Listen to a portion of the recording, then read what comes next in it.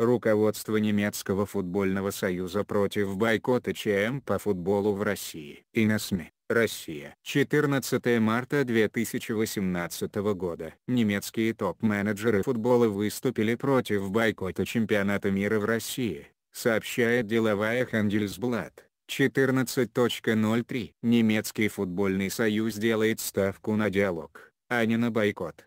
Мосты между людьми должны преодолеть войны сильных мира сего, заявил в беседе с Бильд президент Союза Райнхард Гриндель, Рейнард Гриндель. По его словам, бойкот ничего не изменит. Недавние игры в Южной Корее, наоборот, показали, что спорт может способствовать деэскалации и укреплению связей между народами, подчеркнул Гриндель. Вице-президент Союза Райнер Кох, Райнер Коч, отметил, что бойкот не способствует изменениям, когда речь идет о политических разногласиях. И это показали Олимпийские игры 1980 в Москве, Мюнхнер-Меркур. По мнению Коха, крупные спортивные события помогают наладить диалог и поддерживать его. Немецкий футбольный союз представляет миру свои ценности, а использование спортивного мероприятия в политических целях и манипулирование участниками не соответствует этим ценностям заявил Кох. Дискуссия о возможном бойкоте ЧМ 2018 началась на фоне того,